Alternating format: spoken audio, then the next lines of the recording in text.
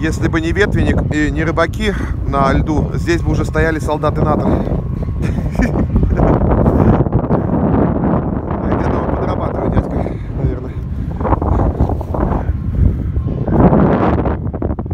Красивый колодец, храм постройки Николая Никаноровича Никонова. У него есть собственный дом в, в колокольном переулке.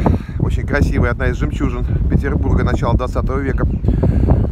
Ну, вообще, Никонов талантливый архитектор. В этом краю у него немало построек. В частности, храм.